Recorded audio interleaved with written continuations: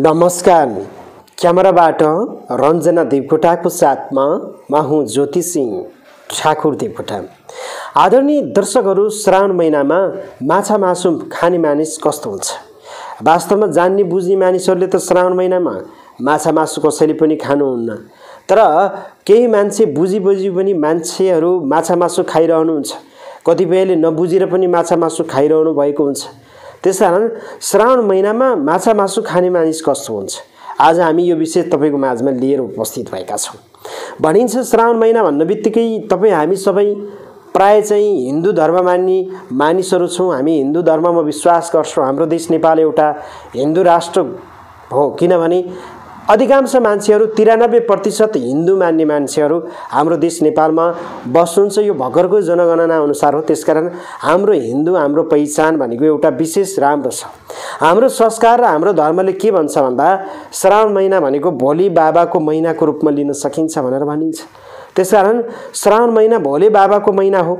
जब हरिशयनी एकादशीबाट भगवान् विष्णु शयन गरिरहनु भएको छ कि यो समय भनेको भोले बाबाको जिम्मामा रहेको छ सारा जगत चलाउनको लागि। त्यसकारण यो पृथ्वी भ्रमणमा भगवान् भोले बाबा आइरहेको बेला यो सारा जगत र सृष्टिहरूलाई चाहिँ उनी भोले बाबाले चाहिँ सम्हार गरिरहेको यो अवस्थामा श्रावण महिनामा हामी सोमबारको व्रत बस्ने पनि चलन हुन्छ। महिला दिदीबहिनीहरू त धेरै मान्छेहरू सोमबारको व्रत बस्नुहुन्छ भने भोले बाबा भगवान् शिवको उपासनाहरू गर्नुहुन्छ। सोमबारको दिन मात्र नभएर श्रावण महिनाभरि माछा मासु लसुन प्याज जस्ता चिजहरू खानुहुन्न विशेष गरेर उनी भोलिको शरणमा हुनुहुन्छ। उनी भोले बाबालाई मान्नुहुन्छ। हरेक सोमबार हरेक सोमबार शिवको उपासना गरिरहनु भएको छ। यद्यपि जान्ने मान्छेहरू पनि व्रत नबस्ने मानिसहरूले पनि श्रावण महिनाभरि लसुन प्याज हरिया सागपातहरू हरेक कुराहरू खाँदाखेरि ख्याल गर्नुहुन्छ। धेरैले बाँड्नुहुन्छ धेरैले खानुहुन्न धेरैले बुद्धि पुर्याएर खानुहुन्छ। त्यसकारण श्रावण महिना भन्न बित्तिकै हामीले यति कुराहरू बुझौँ कि धार्मिक आस्था र धरोहरको हिसाबले पनि भगवान् भोले बाबा पृथ्वी भ्रमणमा आएको यो सारा जगतको जिम्मा लिइरहेको यो अवस्थामा उनी भोले बाबालाई हामी खुसी बनाउन चाहन्छौँ। हामी यदि धर्म र हामी सत मार्गमा लागिरहेका छौँ भने यो श्रावण महिनामा विशेष गरेर हामी शुद्ध रहनु राम्रो मानिन्छ। किनभने लसुन प्याज माछा मासु जस्ता चिजहरू हामीले नखानु राम्रो मानिन्छ। किनभने यी चिज भनेको हाम्रा लागि चाहिँ शरीरलाई आलस्यता बनाउने चिज हुन्। हामीलाई धार्मिक भन्दा पनि अधार्मिकतिर लैजाने चिजहरू हुन्। जसले हाम्रो संस्कारभन्दा अलिकति चाहिँ फरक किसिमको चाहिँ सोचहरू मानिसमा ल्याउन सक्ने चिजहरू हुन्। त्यसकारण प्राय हिन्दू धर्ममा कटिबद्ध व्यक्तित्वहरूले चाहिँ दसैँको बेला चाहिँ दुर्गा थापना गरेको बलिको मासु बाहेक अन्य मासुहरू प्रायले चाहिँ नलिने। कतिपय मानिसहरूले जीवनमै माछा मासु नखाने त्यस्ता व्यक्तित्व पनि हुनुहुन्छ। आज मैले भन्न खोजेको कुरा के हो भने श्रावण महिनामा माछा मासु किन खानु हुँदैन त? यदि श्रावण महिनामा माछा मासु खाइयो भने के हुन्छ भन्ने कुरा मैले तपाईँको माझमा जोड्न खोजिरहेको छु।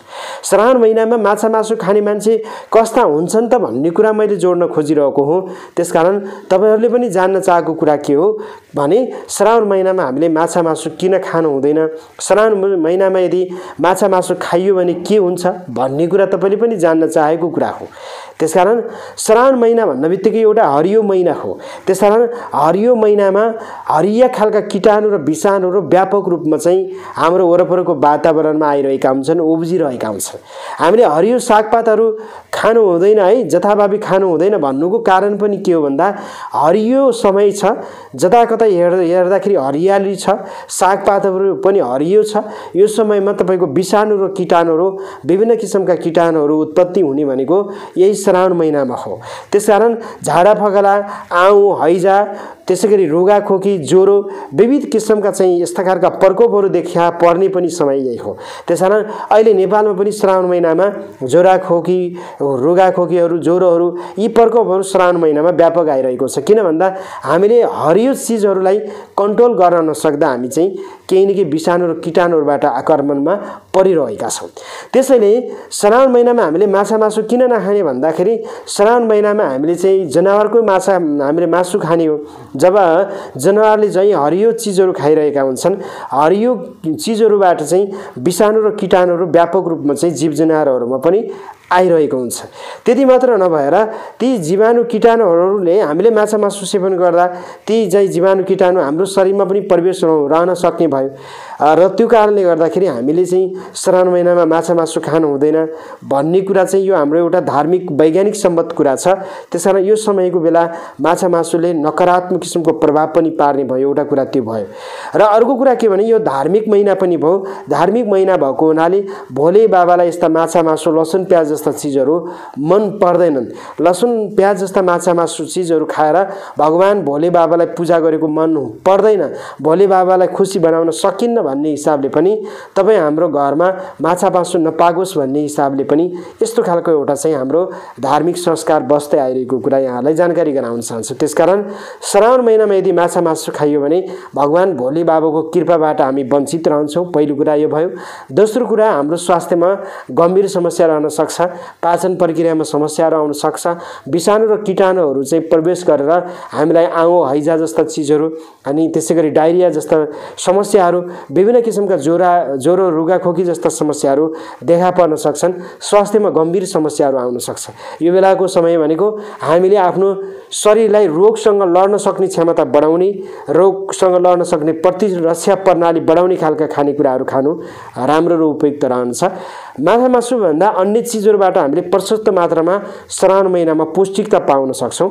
ती चिजहरूको हामीले सेवनहरू गऱ्यौँ भने राम्रो र शुभ रहन्छ। त्यसकारण हामी धर्म र संस्कार सँगसँगै विभिन्न किसिमका विषाणु र किटाणुहरूको नकारात्मक किसिमको प्रभावबाट बस्नुको लागि श्रावण महिनामा हामीले यस्ता चिजहरू हरिया सागपातहरू माछा मासु लसुन प्याज जस्ता चिजहरू नखाउँ भनेर भनिएको।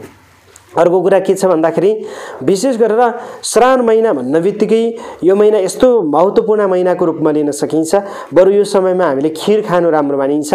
श्रावण महिना भनिन्छ असार पन्ध्र र चिउराको जति महत्त्व छ श्रावण पन्ध्रमा खिरको महत्त्व छ। त्यसकारण हामीले श्रावण पन्ध्रमा खिर खान सक्छौँ र यो श्रावण पन्ध्रमा हामीले खिरहरूबाट बनेका दुधबाट बनेका अन्य प्रकारहरू अन्य चिजहरू हामीले काहीँ खान सक्छौँ। त्यो चिज चाहिँ खाँदा हामीलाई बरु सकारात्मक हुन्छ हामीलाई चाहिँ प्रोटिनहरू पाइन्छ भिटामिनहरू पाइन्छ विभिन्न किसिमको रोगसँग लड्न सक्ने क्षमता हामीलाई दुधले दिन सक्छ र दुधबाट बनेको परिकार हामीले खिर बनाएर खायौँ भने बरु हाम्रो शरीर स्वस्थ रहन्छ। श्रावण महिनाभरि हामीले खिर खानु आफैमा राम्रो छ। त्यस हामीले हाम्रो शरीरलाई जसरी हुन्छ भिटामिन प्रोटिन विभिन्न किसिमको पौष्टिकले हामीले चाहिँ हाम्रो शरीरलाई एउटा बलियो बनाउने माध्यम केही न केही अपनायौँ भने माछा मासु लसुन प्याज जस्ता चिज खानै पर्छ भन्ने चाहिँ होइन। आज हामी तपाईँको माझमा यो विशेष जानकारी दियौँ आजको विषयवस्तु आजको जानकारी तपाईँलाई कस्तो लाग्यो? जस्तो लाग्यो त्यस्तै सल्लाह सुझाव प्रतिक्रिया यहाँले दिन सक्नुहुन्छ। यद्यपि हाम्रो च्यानलमा नयाँ हुनुहुन्छ पहिलोपटक हेर्दै हुनुहुन्छ हाम्रो च्यानलमा सब्सक्राइब गर्नुभएको छैन भने च्यानललाई सब्सक्राइब गरिदिनु होला। नजिकै रहेको बेलमा गएर अलमा क्लिक गर्न नबिर्सनुहोला ज्योतिष वास्तु धर्म र संस्कृति सम्बन्धी कुनै पनि जिज्ञासाहरू छन् भने अन्ठानब्बे चार अठहत्तर चौवालिस शून्य पन्चानब्बे अन्ठानब्बे शून्य पन्चानब्बे साठी पाँच सय सन्ताउन्नमा यहाँले फोन गर्न सक्नुहुन्छ। उसो त विशेष गरेर तपाईँ आफ्नो ग्रहदशा हेराउन चाहनुहुन्छ भने पनि वाट्सएप अथवा भाइबरमा यहाँले फोन अथवा म्यासेजहरू गर्नुहोला कल गर्न सक्नुहुन्छ र आफ्नो चिनाक विश्लेषणहरू गराउन सक्नुहुन्छ। आजलाई भने तपाईँ सम्पूर्ण भक्तजनहरूलाई धेरै धेरै धन्यवाद दिँदै क्यामेराबाट रञ्जना देवकोटाको साथमा म ज्योति सिंह ठाकुर देवकोटाकी चाहन्छु। यहाँहरूको जीवन र जिन्दगी सुन्दर बितोस्। नमस्ते जय होस्।